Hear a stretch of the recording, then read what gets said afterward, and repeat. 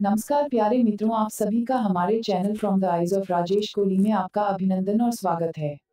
आज हम प्राचीन भारतीय इतिहास अर्थात अनेसियंट इंडिया पर बातचीत कर रहे हैं और आज का हमारा विषय है राजपूतों की उत्पत्ति। हर्षवर्धन की मृत्यु के पश्चात से लेकर बारहवीं शताब्दी ईस्वी तक का काल, उत्तर भारत के इतिहास में सामान्यतः राजपूत काल के नाम से जाना जाता है।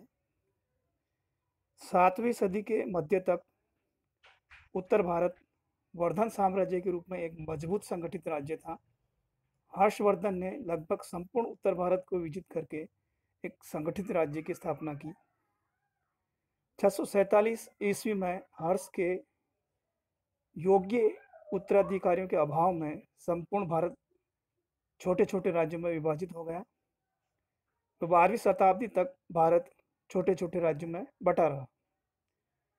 इसी समय पश्चिम भारत में अनेक छोटे छोटे राजवंशों का प्रादुर्भाव हुआ। इन सभी राजवंशों को राजपूत राजवंश कहा गया है। सन 1750 से लेकर 1200 ईस्वी के बीच का समय भारतीय इतिहास में अनेक राजवंशों के उत्थान और पतन का काल रहा है। इन राजवंशों में गुजर, प्रतिहार, चौहान, परमार, चालुक्य, चंदेल घेड़वाल गुहिल, तोमर आदि राजपूत वंश माने जाते हैं। इस वर्ग की उत्पत्ति का प्रश्न विद्वानों के बीच अत्यंत विवाद का विषय रहा है। मुख्यतः इस संबंध में दो मत दिए जाते हैं। राजपूतों की उत्पत्ति संबंधी ऐतिहासिक साक्ष्य पर विचार करते समय कुछ मूल लक्ष्यों को ध्यान में रखना आवश्यक है। इनके उदय के संबंध में इतिहासकारों विद्वानों ने अनेक सिद्धांत प्रतिपादित किए हैं। उनमें से प्रमुख सिद्धांत दो हैं। पहला विदेशी उत्पत्ति का सिद्धांत और दूसरा है भारतीय उत्पत्ति का सिद्धांत। प्राचीन भारतीय साहित्य में राजपूत शब्द का उल्लेख कभी नहीं हुआ। इससे इस बात का पता चलता है कि राजपूतों का उदय प्राचीन भारत में नहीं प्रारंभ हुआ, बल्कि बाद में हुआ। कुछ इतिहासकारों का विश्वास है कि राजपूत कुछ विदेशी जातियों जैसे शक, कुषाण हूण आदि की संतान है।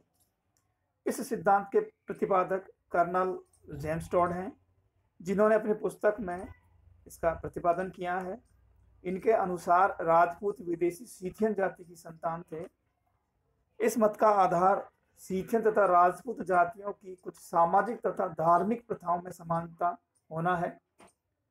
कर्नल टोड ने राजपूतों को शक, कुषाण तथा हूण आदि विदेशी शासकों के वंशजों से संबंधित माना है।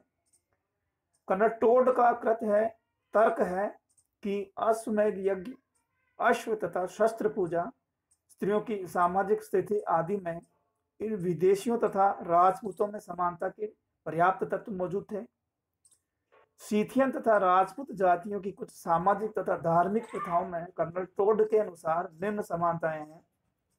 रहन सहन तथा वेशभूषा में समानता, मांसाहार का प्रचलन, रथों द्वारा युद्ध करना या युद्ध में रथों का प्रयोग, यज्ञों का प्रचलन और अग्नि पूजा का प्रचलन।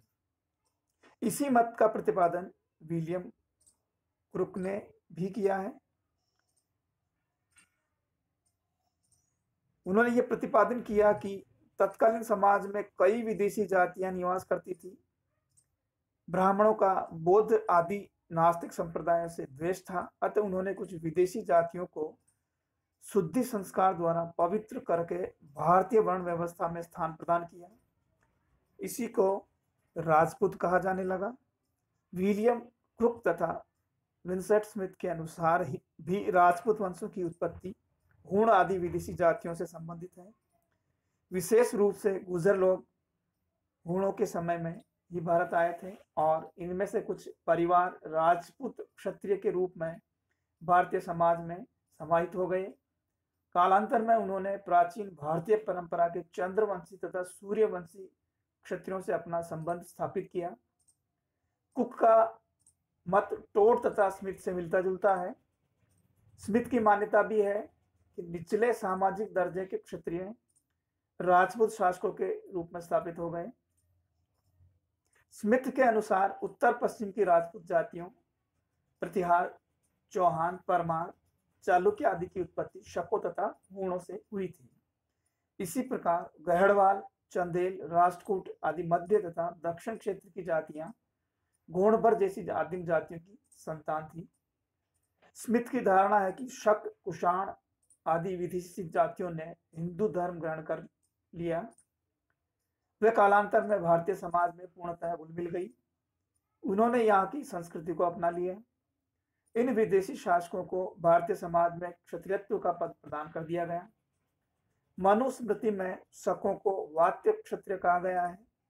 इन जातियों के वीरता पूर्व कृतियों को उनके दरबारी चारणों ने बहुत बड़ा चढ़ाकर प्रस्तुत कर इनकी तुलना रामायण और महाभारत के वीरों से की। भंडारकर ने भी विदेशी मत का समर्थन किया है। उनके अनुसार, अग्निकुल के चार राजपूत वंश प्रतिहार पर चालुक्य चौहान सोलंकी गुजर नामक विदेशी जाति से उत्पन्न हुए थे। चौहान तथा ओहलित जैसे कुछ वंश विदेशी जातियों के पुरोहित थे। पुराणों में हय नामक राजपूत जाति का उल्लेख शक यवन आदि विदेशी जातियों के साथ किया गया है। इससे भी राजपूतों का विदेशी होना सिद्ध होता है। भारतीय इतिहासकार में ईश्वरी प्रसाद तथा डी आर भंडारकर ये मानते हैं कि भारतीय समाज में विदेशी मूल के लोगों के सम्मिलित होने से राजपूतों की उत्पत्ति हुई है। भंडारकर ने एक सिक्के पर अंकित श्री वासुदेव बहमन के आधार पर तथा अन्य अनेक तर्कों के साथ चौहानों अथवा चाहमानों को खजर नामक विदेशी जाति के पुरोहित वर्ग का माना है। इन इतिहासकारों का विरोध डॉक्टर होरी घोरी शंकर हीराचंद ओझा ने राजपूतों को प्राचीन क्षत्रियों का वंशज प्रमाणित करने का प्रयास किया है। टोड के तर्क का खंडन करते हुए इस प्रकार के रीति रिवाज विदेशों में भी प्रचलित होना बताया है और ये विदेशी शासक वर्ग ने क्षत्रियों से ग्रहण किया होना बताते हैं। ओझा का मत है कि राजपूत अपनी जातिगत विशिष्टताओं तथा शारीरिक संरचनाओं में भी प्राचीन क्षत्रियों की संतान प्रतीत होते हैं। यह था विदेशी उत्पत्ति का सिद्धांत